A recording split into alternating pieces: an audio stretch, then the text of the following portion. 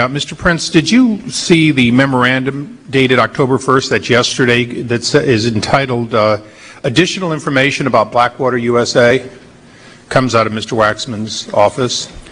It's 15 pages. Yes. I did see that, yes, sir. Okay. Did you note that on page five, uh, Mr. Waxman and/or his staff uh, said the following, "Blackwater is owned by Erik Prince. Mr. Prince is a former Navy SEAL who owns the company through a holding company." After that, it begins to talk about the White House, uh, your father, your father-in-law, your uh, your sister, et cetera, and basically talks about everything I asked you, the Michigan Republican Party, the donations.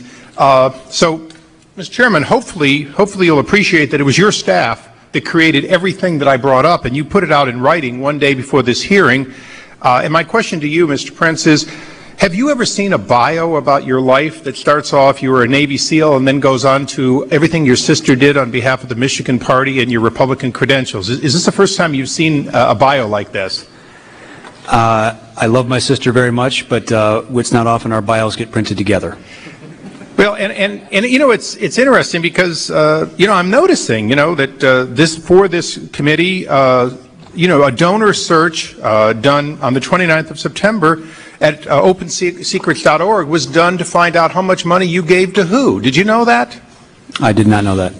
And do you think that's really germane to today, or do you think that s- attempts to paint you as a Republican supporter?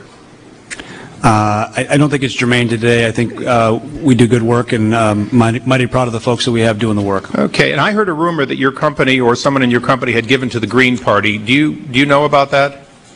Uh, Could have been. Okay, I just, I just wanted to know that there were people on both the far left and the far right relative to the chairman who, who, who may have benefited by your company. But I, Mr. Chairman, I would ask that page five of your memo uh, be considered as what I called it, an attempt to paint this gentleman and his company through Republican eyes to a Democrat base for political purposes. And I stand by my statement, Mr. Chairman. Yield back to the gentleman from. uh, Could I just ask uh, one just clarification, Mr. Chairman? Yes. Uh, Your first contract, Mr. Prince, uh, government contract was in 1997, wasn't it?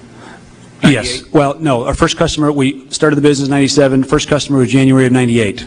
First federal customer, that was under the... That was a Clinton SEAL administration. team. That was under the Clinton administration. Yes, Thank sir. you.